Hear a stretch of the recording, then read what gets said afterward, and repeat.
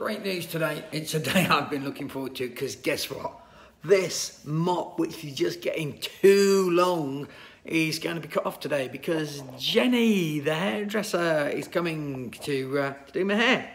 So, tomorrow when I'm filming, I'm going to have nice short locks. I am being stared down by somebody who wants a little bit. Charlie, are you hoping to get a bit of tuna? Mmm.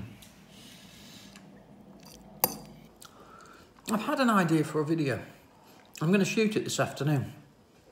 And it's because I was watching somebody yesterday and they're on Zoom and they were having a meeting and their laptop was set up in front of them but on a desk much much below them and this is the shot they had great shot of the ceiling wonderful shot of their chins and lighting was all over the place and, and I couldn't help thinking as photographers, we understand if we were putting a webcam in front of us where to put it. We know how to light it, we know how to get the best look. And actually, it's not hard, it doesn't cost anything, it's only a bit of know how.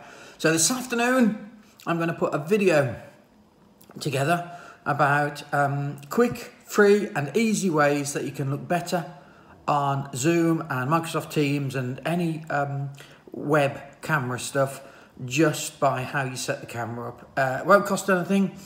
It's uh, a really easy fix. So we'll put that together this afternoon and I'll get it uploaded. And um, once it's uploaded, I'll put a link at the end of this film too. Just finished cleaning the bathroom. Uh, that mirror. Oh, that's so typical. Give a 53 year old bloke a mirror and he starts acting like a child, pulling silly faces. You idiot. See, I told you. Jenny's here, look. Making me beautiful. so, after hours and hours of toil, she has been here literally all evening, making me look beautiful. And here we go, the reveal. Ta-da! At least 20 years younger.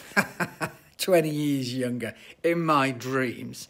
Oh, Jenny, you've done a great job making me look human. But you know what? What's the expression? You can't polish. I don't know. I can't remember.